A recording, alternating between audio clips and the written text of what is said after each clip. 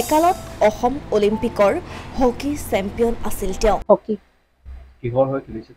District খেলিছিলোঁ ডিষ্ট্ৰিক্টৰ পৰা আছাম চিলেকশ্যন কৰিলে ষ্টেটৰ এতিয়া এখন নাৰ্ছিং হোমত চাফাই কৰ্মী।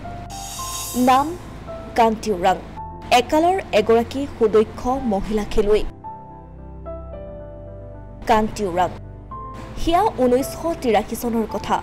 শিৱসাগৰৰ কমলালয়া ছোৱালী মহাবিদ্যালয়ৰ অষ্টম শ্ৰেণীৰ ছাত্ৰী আছিল কান্তি। হঠাৎ এদিন আকৃষ্ট হৈ পৰিছিল হকী খেলৰ প্ৰতি।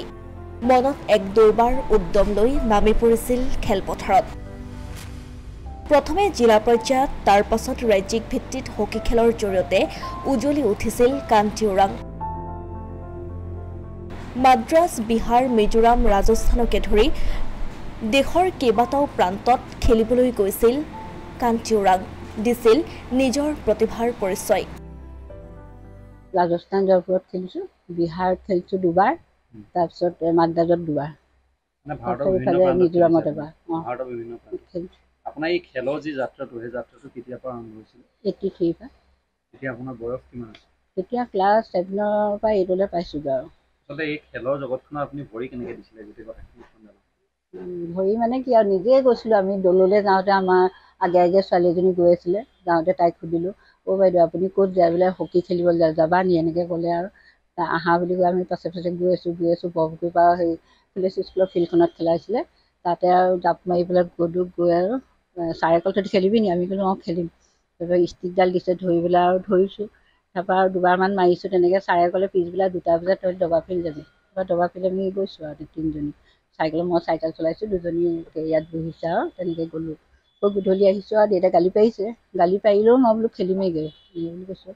মই এল- হাইস্কুলৰ এল পি স্কুলৰ পৰাই খেলত ভাল তাৰমানে ৰাজ্যৰ বিভিন্ন প্ৰান্ততো হকী খেল খেলি জনপ্ৰিয় হৈ উঠিছিল তেওঁ।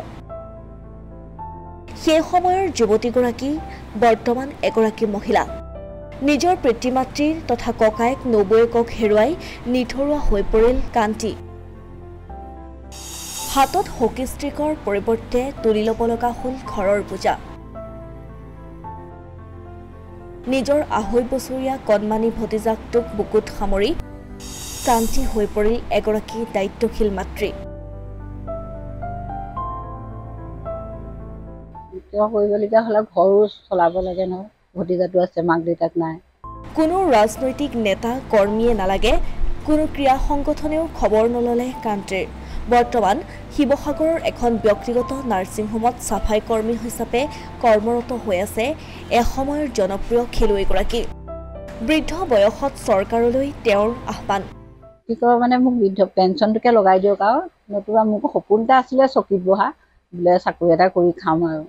কিন্তু নাপাওঁ যেতিয়া আৰু পেঞ্চনটোকে লগাই দিয়ক। তেতিয়াও মই চলিব পাৰিম আৰু। বা মানুহৰ ওচৰত নাকটো উলিয়াব পাৰিম বোলে খেলি মেলি পেঞ্চন এটা পাইছোঁ বোলে মই। কাৰোৱেই প্ৰতি এইগৰাকী কান্তি ওৰাঙৰ খং ক্ষোভ নাই। ভগা জুপুৰিত দিন কটোৱা একালৰ খেলুৱৈ কান্তি ওৰাং এতিয়াও যথেষ্ট আত্মবিশ্বাসী।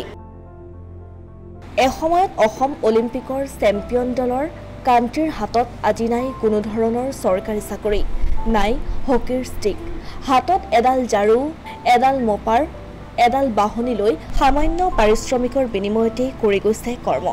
কিন্তু এতিয়া প্ৰশ্ন হয় এইগৰাকী খেলুৱৈয়ে দৃষ্টি আকৰ্ষণ কৰিবনে চৰকাৰৰ ব্যাগুম বিভাগটোৰ? Asomiya Pratidin digital desk.